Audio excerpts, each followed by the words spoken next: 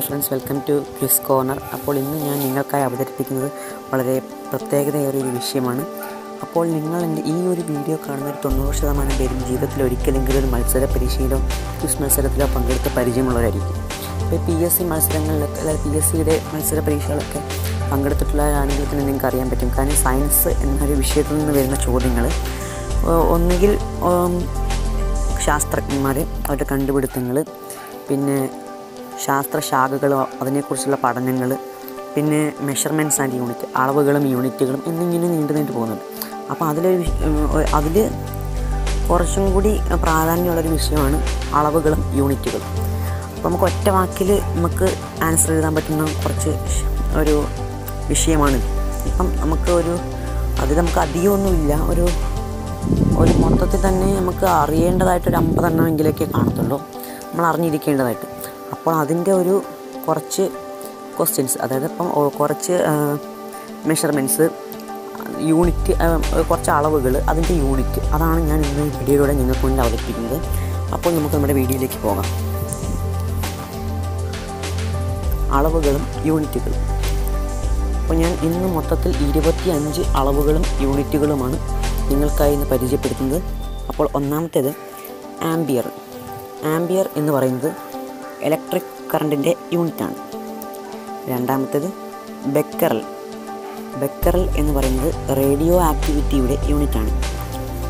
പ്രശസ്തമായ സയന്റിസ്റ്റായ ഹെൻറി ബെക്കറിനോടുള്ള ഒരു ആദരവായിട്ടാണ് റേഡിയോ ആക്ടിവിറ്റിക്ക് ബെക്കറൽ എന്ന യൂണിറ്റ് നാമം ചെയ്തത്. മൂന്ന് കലോറി. Quantity of heat. ക്വാണ്ടി താപത്തിന്റെ അളവിന്റെ യൂണിറ്റാണ് കലോറി. നാല് ക്യാൻഡല യൂണി ലൂമിനസ് ഇന്റൻസിറ്റി അഞ്ച് സെൽഷ്യസ്. ടെമ്പറേച്ചറിന്റെ യൂണിറ്റാണ് സെൽഷ്യസ്. ആറ് കൊളോംബ്. കൊളോംബ് എന്നത് ഇലക്ട്രിക് ചാർജിന്റെ യൂണിറ്റാണ്. ഏഴ് ഡെസിബൽ. ഡെസിബൽ എന്നത് ഇന്റൻസിറ്റി ഓഫ് സൗണ്ട് അതായത് ശബ്ദത്തിന്റെ ഉച്ചതയുടെ യൂണിറ്റാണ്. പ്രശസ്തമായ ശാസ്ത്രജ്ഞനായ അലക്സാണ്ടർ ഗ്രഹാംബലിനോടുള്ള ആദരവായിട്ടാണ് ഡെസിബലിന് ഈ നാമകരണം ചെയ്തിരിക്കുന്നത്.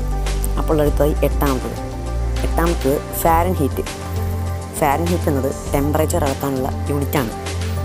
അടുത്തതായി ഫാരഡെ. ഫാരഡെ എന്നത് ഇലക്ട്രിക് ചാർജ് അളക്കാനുള്ള യൂണിറ്റാണ്.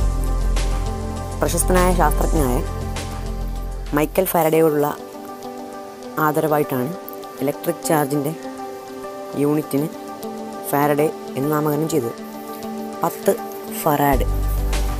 ഇലക്ട്രിക് കപ്പാസിറ്റൻസിന്റെ യൂണിറ്റാണ് ഫറാഡ്. പതിനൊന്ന് ജൂൾ. എനർജി അതായത് ഊർജത്തിന്റെ യൂണിറ്റാണ് ജൂൾ. പന്ത്രണ്ട് കിലോഗ്രാം ഇത് നമുക്ക് ഏവർക്കും പരിചിതമായിരിക്കും. മാസ് എന്ന ഒരു മാസ് എന്ന അളവിന്റെ യൂണിറ്റാണ് കിലോഗ്രാം അപ്പോൾ നമ്മൾ കിലോഗ്രാം എന്ന് നമ്മൾ ആദ്യമായിട്ട് കേൾക്കുമ്പോൾ അല്ലെ ഇപ്പോൾ ഒരു നോർമലായിട്ടുള്ള ഒരാൾക്ക് കിലോഗ്രാം എന്ന് അത് നമ്മൾ തെറ്റായിട്ടാണ് മനസ്സിൽ വെക്കുന്നത്. വെച്ചാൽ വെയിറ്റിന്റെ അളവാണ് കിലോഗ്രാം എന്നാണ് നമ്മൾ ധരിച്ചു വെച്ചിരിക്കുന്നത്. പക്ഷേ തെറ്റാണ്. മാസ് എന്നതിന്റെ അളവാണ് കിലോഗ്രാം അപ്പോൾ അടുത്തതായി പതിമൂന്ന്. മീറ്റർ ലെങ്ത് അതായത് നീളത്തിന്റെ അളവാണ് മീറ്റർ ലെങ്ത്തിന്റെ അളവാണ് മീറ്റർ അപ്പോൾ അടുത്തത് പതിനാല്. പതിനാല് മോൾ അപ്പോൾ നിങ്ങൾ അറിഞ്ഞ നിങ്ങൾക്ക് അറിയായിരിക്കും മോൾ എന്ന് പറയുമ്പോൾ സബ്സ്റ്റൻസ് അതായത് ഒരു പദാർത്ഥത്തിന്റെ അളവിനെയാണ് മോൾ എന്ന് പറയുന്നത്. അതിന്റെ ആണ് മോൾ. അടുത്തതായി പതിനഞ്ച്.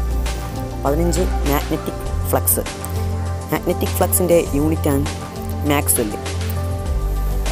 അടുത്തതായി പതിനാറ്. ന്യൂട്ടൺ. ന്യൂട്ടൺ എന്നത് ഫോഴ്സിന്റെ യൂണിറ്റാണ്. അപ്പോൾ നിങ്ങൾ കേൾക്കുമ്പോൾ തന്നെ മനസ്സിലേക്കാണ് കാണും ഐസക് ന്യൂട്ടനോടുള്ള ആദരവായിട്ടാണ് ഫോഴ്സിന്റെ യൂണിറ്റിന് ന്യൂട്ടൺ എന്ന് നാമകരണം ചെയ്തത്. അടുത്തായി പതിനേഴ്. ഓം. ഓം എന്നത് ഇലക്ട്രിക് റെസിസ്റ്റൻസിന്റെ യൂണിറ്റാണ് അടുത്തതായി പതിനെട്ട്. പോയിസ് പോയിസ് എന്നത് വിസ്കോസിറ്റിയുടെ യൂണിറ്റാണ് പത്തൊമ്പത്. പത്തൊമ്പത് ഹേർട്സ് ആണ്. ഹേർട്സ് എന്നത് ഫ്രീക്വൻസിയുടെ യൂണിറ്റാണ് ഇരുപത് വാട്ട് വാട്ട് എന്നത് പവറിന്റെ യൂണിറ്റാണ് ഇരുപത്തി ഒന്ന് സെക്കൻഡ് സെക്കൻഡ് നിങ്ങൾക്ക് അറിയാം നിങ്ങൾക്ക് എല്ലാവർക്കും അറിയാമായിരിക്കും സെക്കൻഡ് എന്നത് ടൈം അതായത് സമയത്തിന്റെ യൂണിറ്റാണ് ഇരുപത്തിരണ്ട് ടെസ്ല.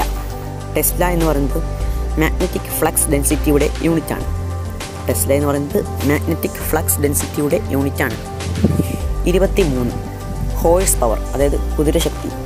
കുതിരശക്തി എന്ന് പറയുന്നത് പവറിന്റെ യൂണിറ്റാണ് അടുത്തതായി ഡൈൻ ഡൈൻ എന്നത് ഫോഴ്സിന്റെ യൂണിറ്റാണ് ഫോഴ്സിന്റെ മറ്റൊരു യൂണിറ്റാണ് ന്യൂട്ടൺ.